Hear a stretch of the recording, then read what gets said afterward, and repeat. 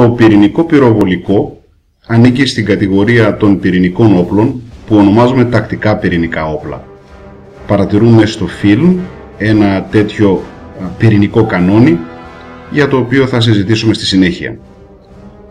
Τα πυρηνικά κανόνια κατασκευάστηκαν για να χρησιμοποιηθούν σε τακτικό επίπεδο, δηλαδή στο πεδίο της μάχης, μεταξύ μονάδων και άλλων σχηματισμών, σε αντίθεση με τα στρατηγικά πυρηνικά όπλα που έχουν κατασκευαστεί ώστε να χρησιμοποιηθούν εναντίον ε, μεγάλων πόλεων, σχηματισμών και εργοστασίων. Είδαμε την έκρηξη λοιπόν ε, στο πυρηνικό κανόνι και πρέπει να αναφέρουμε ότι πρόκειται για την πρώτη πυρηνική δοκιμή ενός τακτικού ε, πυρηνικού βλήματος η οποία έγινε το Μάιο του 1953 στην Νεβάδα. Ε, ήταν μέρος της μεγάλης επιχείρησης Upshot Not Hole και ειδικά αυτή η δοκιμή ονομάστηκε δοκιμή Grable.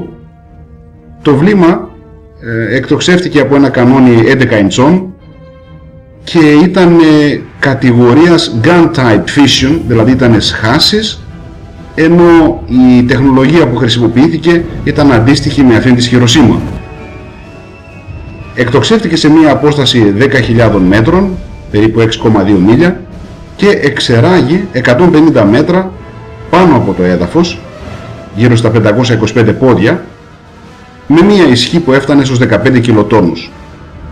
Αυτό ήταν το ένα και μοναδικό βλήμα πυρηνικού πυροβολικού που χρησιμοποιήθηκε ποτέ από τον Αμερικανικό στρατό. Το ίδιο το βλήμα είχε ένα μήκος ε, που βλέπουμε και στην εικόνα εκεί περίπου 1384 χιλιοστά και ζύγιζε 365 κιλά.